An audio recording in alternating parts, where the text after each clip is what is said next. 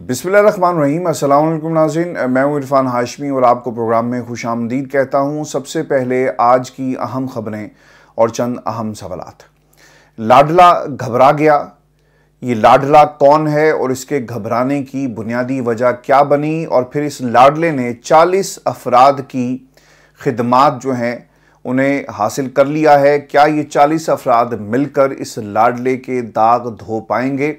Viewers इस पर तफसील से हम बात करेंगे और फिर पाकिस्तान तहरीक इंसाफ ने वाइट पेपर जारी कर दिया अवामी मिसाइल का और फिर मौशी कत्ल का जो पाकिस्तान की आवाम का किया गया। लेकिन व्यूर्स सबसे पहले आपको बताएँ कि ये लाडला, सिर्फ़ लाडला नहीं, बल्कि ये अनोखा लाडला है जो खेलने के लिए चाँद भी मांग रहा है और साथ साथ सूरज भी मांग रहा है। लेकिन शायद इस लाडले को यह मालूम नहीं है कि चाँद की चांदनी जलाती नहीं है।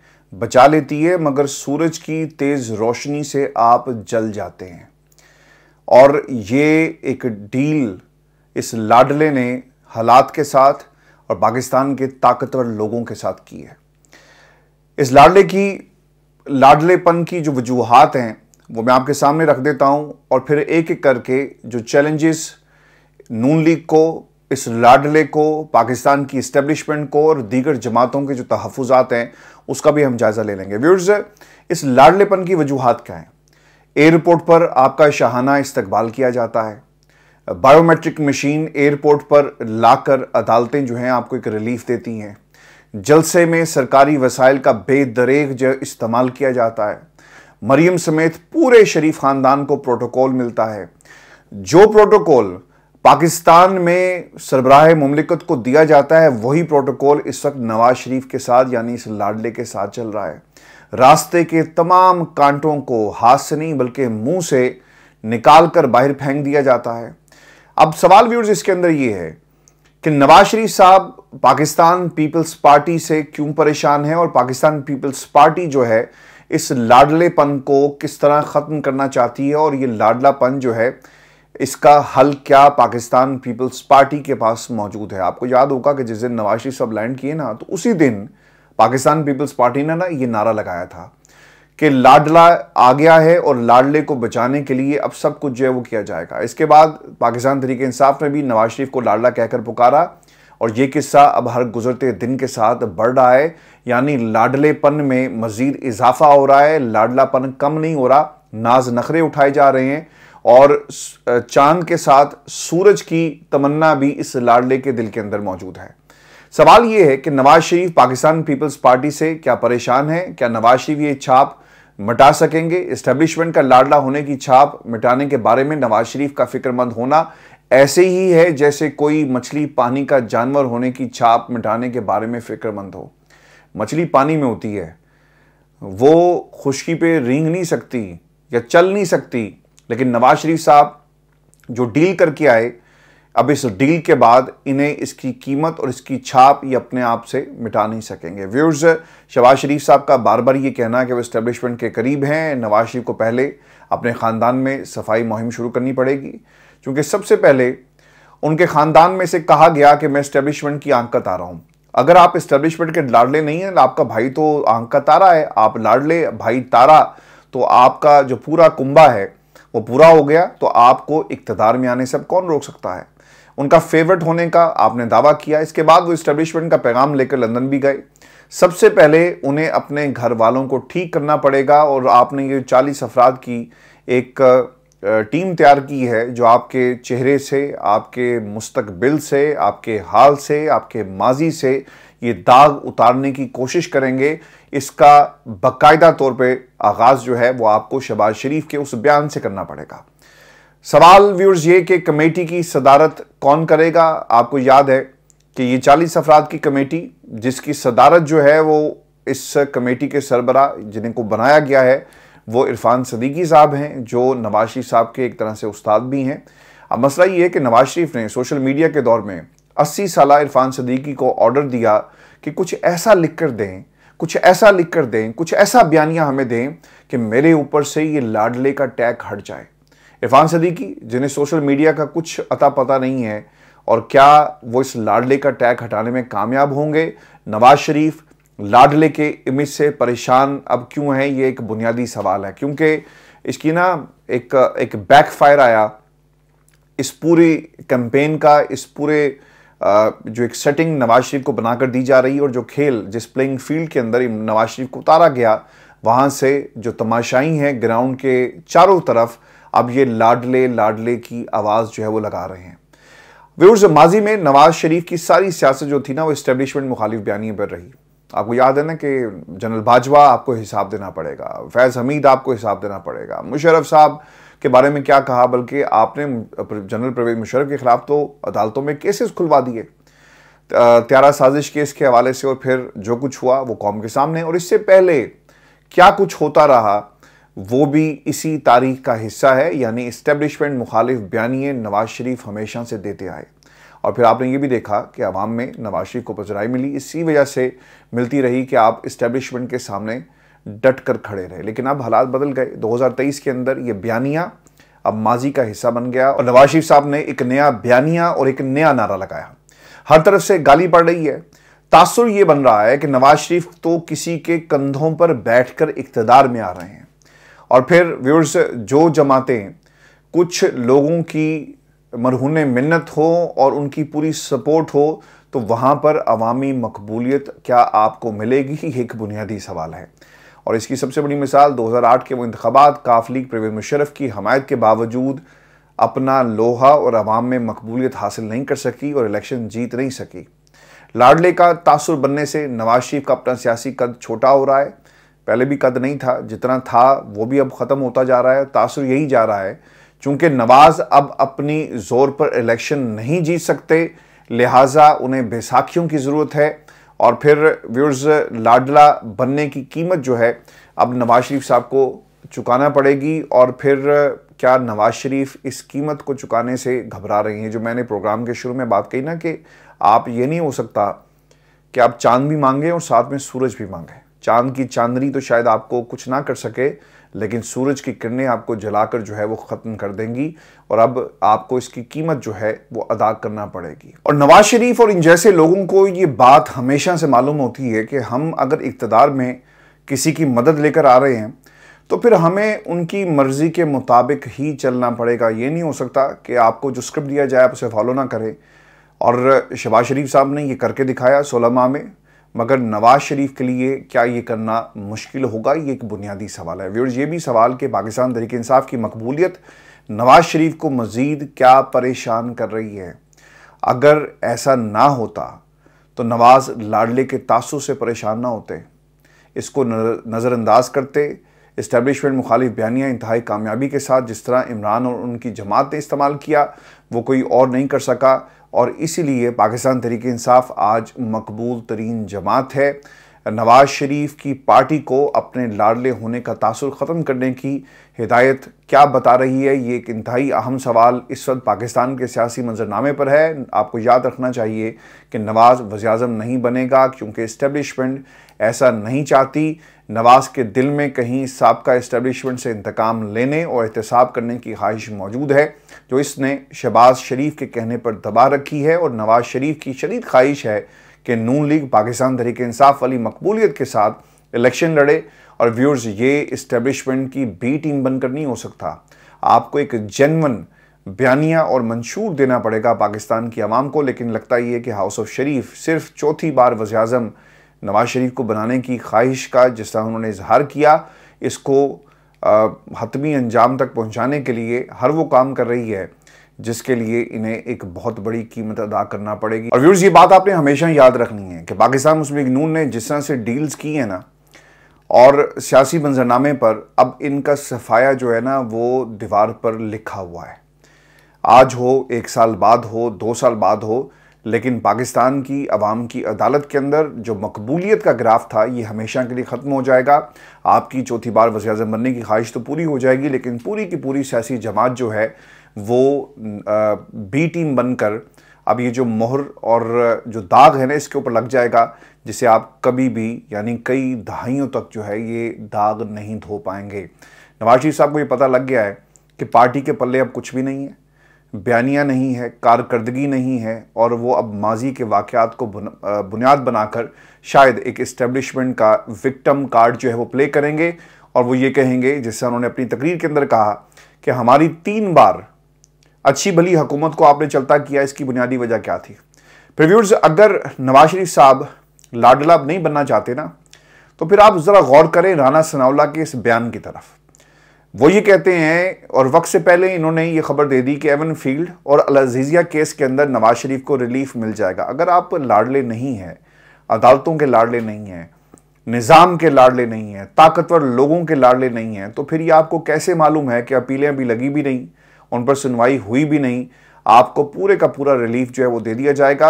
अगर आप ऐसी बातें करेंगे, वक्त से पहले खबरें ब्रेक करेंगे तो फिर ये लाडले का लेबल जो है ना, ये अब आपसे कोई नहीं छीन सकता। और ये सवाल इंतहाई अहमियत का हामिल है कि नवाज़ शरीफ साहब सामने आकर खुद क्यों मुकाबला नहीं करते? हमेशा इन्होंने ये काम किया, ये सामने नहीं आते। अब हुआ क्या है जी कि जब आर्मी चीफ की एक्सटेंशन का मामला था ना तो उस सब भी हल्फ लिया गया लोगों से कि यार, ये बाहर जाकर बात नहीं करनी कि एक्सटेंशन का मामला मेरा है। मरियम ने कहा कि मैं इस गुना में शामिल नहीं थी। और फिर ख्वाजा आसिफ साहब ने आकर खुद ये कहा कि जनाब, मेरी क्या औकात है? ये फैसला नवाज़ शरीफ का था, शाहिद खाकान अब्बासी ने कहा कि एक्सटेंशन का फैसला नवाज़ शरीफ का था और फिर ये कौम को बेवकूफ़ बनाते रहे कि भाई, ये तो नवाज़ शरीफ ने काम नहीं किया, बल्कि काम जो था, ये कहीं और से करवाया गया। और अंदर पीटीआई के नून लीग के अंदर बहुत सारे ऐसे लोग मौजूद थे जो चाहते थे कि एक्सटेंशन दी जाए। नवाज़ शरीफ के सामने कोई सूरत नहीं थी, माँ सवा इसके कि वो सरेंडर कर देते। यही तासुर हमें दिया गया। अब नवाज़ शरीफ सामने ना यही गेम खेली है। मंशूर कमेटी बना दी, चालीस अफराज चालीस जैन बैठकर। अब ये फैसला करेंगे कि ये जो दाग है, इसको हमने दूर कैसे करना है और क्या किया जाएगा, एक माहौल बनाया जाएगा। प्रेस कॉन्फ्रेंसेस होंगी, जलसे होंगे और सारी बात कौम के सामने रख कर ये कहा जाएगा कि जनाब देखें, नवाज़ शरीफ तो खुद पाकिस्तान की इस्टेब्लिशमेंट का एक विक्टम है। इस इस्टेब्लिशमेंट की बात नहीं की जाएगी, पुरानी इस्टेब्लिशमेंट जो नवाज़ शरीफ ने अपने जलसे में भी कहा ना कि तीन बार हुकूमत कराई गई तो ऐसी क्या वजह थी कि हमारी हुकूमत जो है वो गिरा दी जाती है बार बार कुछ तो है जो लोगों को, जो ताकत में बैठे हुए लोग होते हैं, उन्हें शायद ये पसंद नहीं आता। इंतहाई अहम सवाल। पाकिस्तान तहरीक इंसाफ और पीपल्स पार्टी का क्या ये जो तनकीद थी और दबाव जो था, क्या ये काम कर गया है? आपको ये क्रेडिट जो है ना, दोनों जमातों को देना होगा। दोनों जमातों ने लाडले का जो इमेज और जिस तरह से लाडलापन जो हमारे सामने आया इमेज नहीं लाडलापन जो सामने आया और फिर प्लेइंग फ़ील्ड में जिस तरह नवाज़ शरीफ को सिर्फ़ खेलने की इजाज़त है और किसी को इजाज़त नहीं है, इससे ये साफ़ ज़ाहिर है कि नवाज़ शरीफ लाडले हैं और पीटीआई और पीपल्स पार्टी जो बात कर रही है, अब इसका दिफा करने के लिए 40 अफराद को मैदान में उतारा गया है। और फिर आपको ये बताएँ कि आवाम का मौशी कत्ल पीडीएम हुकूमत के खिलाफ एक चार्जशीट जो है वो आ गई है। पाकिस्तान तरीके इंसाफ ने पीडीएम हकूमत के खिलाफ एक वाइट पेपर जारी किया है जिसमें उन्होंने किसी तरह पाकिस्तान की आम आवाम को आ, उनका मौशी कत्ल किया गया। इसकी पूरी कहानी जो है बयान की कैसे इकतदार की भूख में गरीबों की भूख को बलाए ताक रखा गया ये सारी की सारी चीज़ों का अहाता किया गया। 2018 में क्या सूरत हाल थी? कुछ अदादोशुमार में आपके सामने रख देता हूँ। एक तकाबली जायज़ा, आपको समझने में आसानी हो जाएगी कि इस हकूमत ने और इससे पहली हुकूमत ने किस तरह पाकिस्तान की आवाम को दिन की रोशनी में लूटा है। जब अगस्त 2018 में पाकिस्तान तरीके इंसाफ ने हुकूमत संभाली तो मीशत तबाही के दहाने पर थी। आपको याद होगा कि उस वक्त क्या हालात थे? मुल्क का माली जो साल है ना, वो 2018 का करंट अकाउंट खसारा 19 अरब 20 करोड़ डॉलर पर खड़ा था। स्टेट बैंक के ज़खायर नौ अशारिया चार अरब डॉलर थे और 32 डॉलर कर्ज़ों की अदायगी फौरी करने की ज़रूरत थी। फिर इसके बाद क्या होता है कि उस वक्त रुपया तेईस फ़ीसद ओवर वैल्यू था। बरामदाद में पाँच, बरसों में दस फ़ीसद कमी हुई। जबकि दरामदाद में तेईस फ़ीसद इजाफा हुआ, जिससे हमारे ज़र मुबादला के ज़खार में तैंतीस फ़ीसद जो है वो कमी हुई। इसके अलावा मालियाती खसारा जी डी पी का सात अशारिया छः फ़ीसद था। पाकिस्तान ने आई एम एफ़ से रबता किया, जिसने बिजली, गैस के नरखों और ईंधन की कीमतों में इजाफे की सख्त शराइ आयद की और पाकिस्तान तहरीक इंसाफ ने हकूम, उस वक्त की जो हुकूमत थी उसने एक ही साल में टैक्स कलेक्शन में इजाफा करके खसारे को जीडीपी के पाँच अशारिया पाँच फ़ीसद तक कम कर दिया। पीडीएम ने पाकिस्तान तरीके इंसाफ से कितना कर्जा लिया है, अगर आप इसको भी देखें ना तो आपको पता चल जाएगा कि 16 महीनों में कर्जों के बोझ में तकरीबन 200 खरब रुपए का इजाफा हुआ, जबकि पाकिस्तान तरीके इंसाफ ने 40 महीनों में कोविड 19 के बावजूद एक सौ तिरासी खरब का कर्जा लिया। पीडीएम के दौर में महँगाई ने कुत ख़रीद ख़त्म कर दी और गुर्बत की शरह में तेज़ी से इजाफा हुआ। है इसके अलावा पाकिस्तानी रुपया तकरीबन 122 दर्जे तक की बुलंद तरीन, बेकदरी का शिकार हुआ।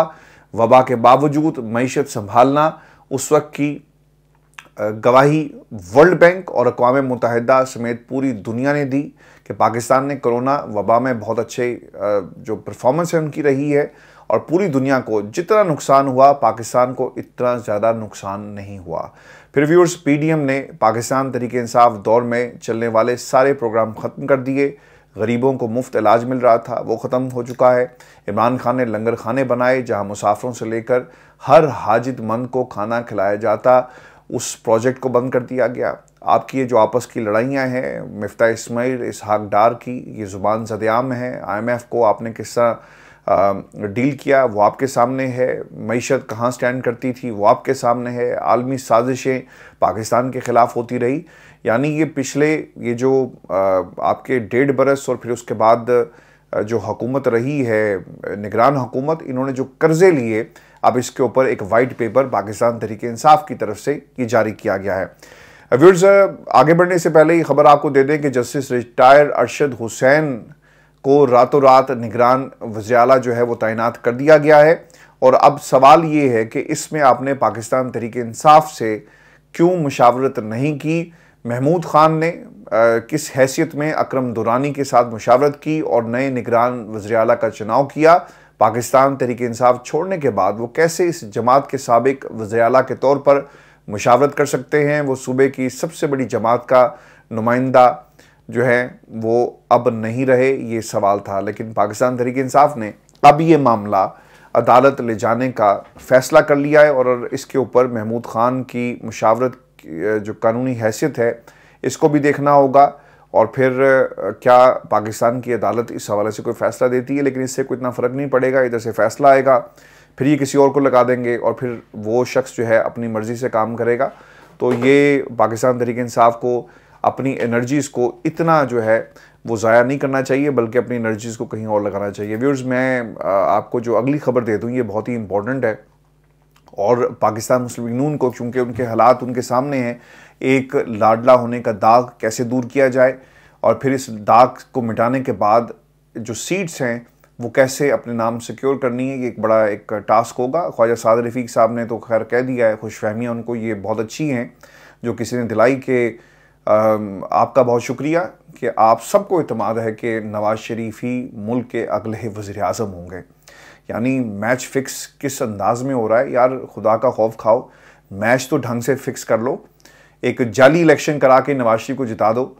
लेकिन उससे पहले ही नवाज़ शरीफ का वजी अजम बनने का ख्वाब जो है, उसे पूरा किया जा रहा है। उसके ऊपर मोहर लगाई जा रही है। अब एक फ़ैसला नून लीग की तरफ़ से ये किया गया है कि इन्होंने इलेक्टेबल्स को भी अपनी जमात में शामिल करना टास्क दे दिया गया जी, और ये टास्क दिया गया है नून लीग की तरफ़ से, नवाज़ शरीफ साहब की तरफ़ से, और नवाज़ शरीफ ने ये टास्क जो है राना सनाउल्ला को दिया, और ये उनकी ख्वाहिश है कि जनाब 140 में से हमने 120 सीटें पंजाब के अंदर हर हाल में हासिल करनी है, ताकि हमें किसी दूसरे की तरफ़ जो है वो देखना ना पड़े।